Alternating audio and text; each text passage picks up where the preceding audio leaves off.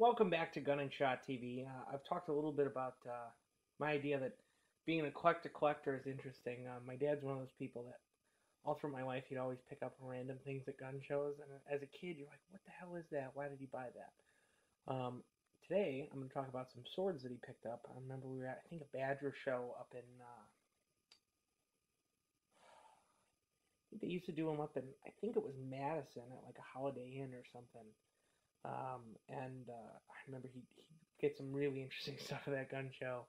Um, but one one time he went, and I remember as a little kid, and I was walking around with him, and he bought a sword, and I'm like, why the hell would you buy a sword? Because now you got to carry a sword around the gun show for two hours. This was a big show, and uh, then uh, he comes up to another table a little later, and he buys yet another sword, the same exact sword. So what these are are 1913 M1913 Patton sabers. Um, a lot of people know George S. Patton was the World War II tank guy. You know, we've seen the movie with George C. Scott where he plays Patton. Last Days of Patton was a sequel. It covered actually more of Patton's earlier life for some reason in a movie called Last Days of Patton. But um, Patton was actually a very, very smart guy. He was a little bit kooky. He thought he was a reincarnated Roman general or something. But some of the stuff that he did, especially before joining, um, you know, before World War II, I mean, he served with Pershing during the Mexican War, with uh, Pancho Villa and all that stuff when we were running around doing all kinds of stuff in Mexico. And that was really where a lot of the tank skills and stuff he used during World War II, I mean, he developed a lot of that. And he was more of a cavalry guy, actually and he used a lot of the ability, the fast movement of cavalry. He adapted those techniques into tanks. So he was actually a pretty big um, equestrian rider. Um, he was actually an Olympic athlete in the 1912 Olympics, and he competed in the modern pentathlon, I believe it was. And it was five different events. I think there was shooting, I think overall athleticism, like you know I think like a track and field type thing. There was fencing, there was equestrian riding, uh, and I believe swimming. I think that's five, but if not, you can always look it up on Wikipedia. And out of I think it was somewhere around 30, 40 uh, Olympians, he came fifth overall. So not too shabby. He was the only American that went. I'm sure he just went on his own.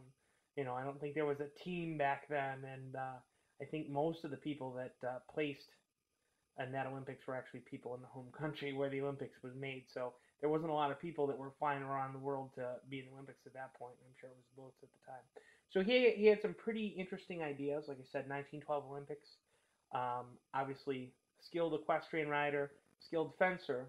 So the military at the time, this is prior to World War One. You got to remember, technology was changing rapidly.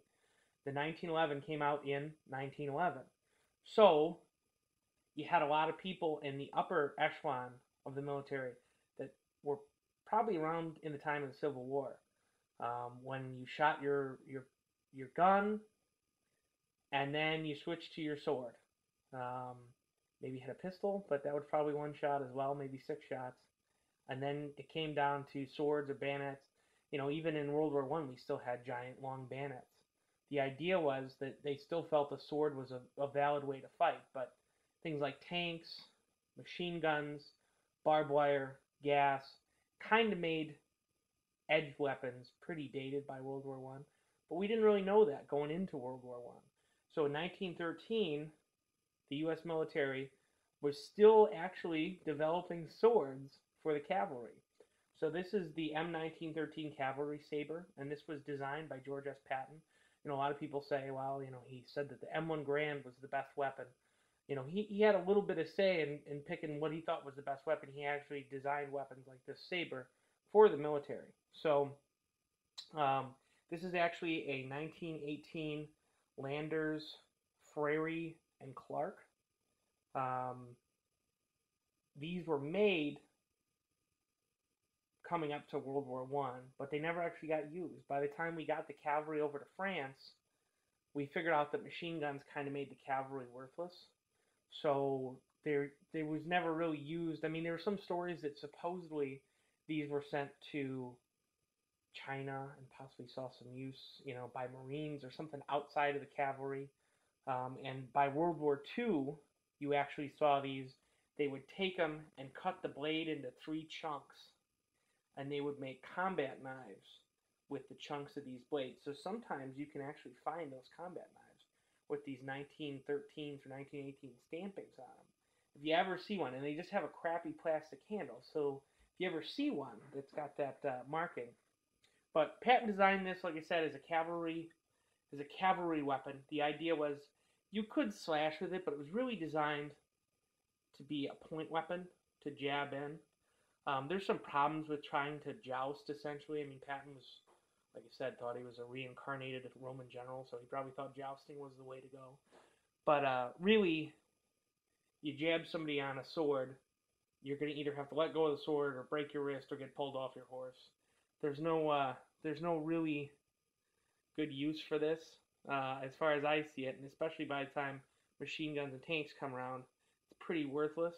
But definitely a really neat weapon. It's it's really ergonomic. It's got a nice place to rest your thumb. Um, it's pretty light. It's pretty maneuverable. This one is actually just your basic 1913 saber, and uh, it actually has a very dinged up handguard.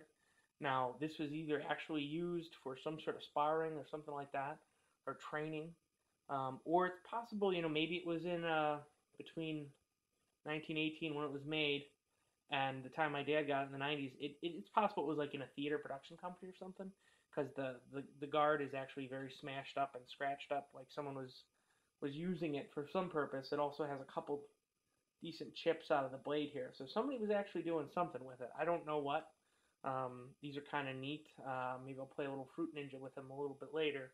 But uh, interesting too, when you swing them through the air, you'll get some uh, really neat movie sword fighting sound effects from the blood gutter, as it were, um, just whistling through the air. But but definitely really cool. And you know, I'm not a big sword guy, but definitely a cool piece of history.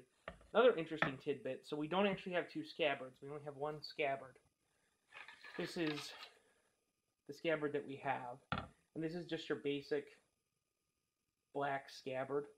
Um, and I think it's I think it's actually wood with a canvas wrapper on it. You can see the canvas a little chewed up in spots. But um, this scabbard should actually go with this black sword. This one is an officer sword. And this is a 1914 dated Springfield Armory production. And this is, I'm going to guess, nickel plated? Could be chromed, but it's it's got a very uh, dressy hilt here and guard, and that would have been for ceremonial use or anything. Like I said, these these didn't actually really get used in battle for anything, so probably quite a few got turned into officer swords. There actually was a different scabbard that would have come with an officer sword that was all metal and went down to a nicer point. Um, but definitely interesting. I wouldn't want to carry one of these all day. These were made to be carried on a horse.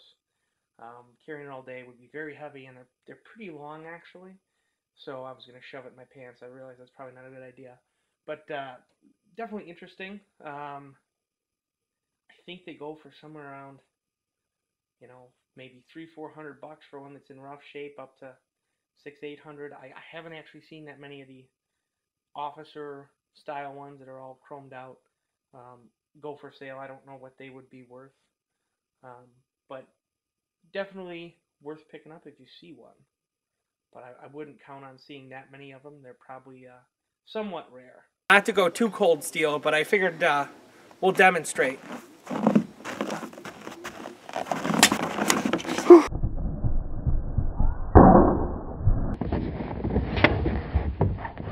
the shape of the blood gutter or whatever you want to call it on the side here. When you swing it, it makes movie sound effect sword noises every time. So I thought that was kind of neat. Uh, if you were to, for example, use this in a film, you could maybe, if you didn't stab anyone, just skip on the sound effects budget.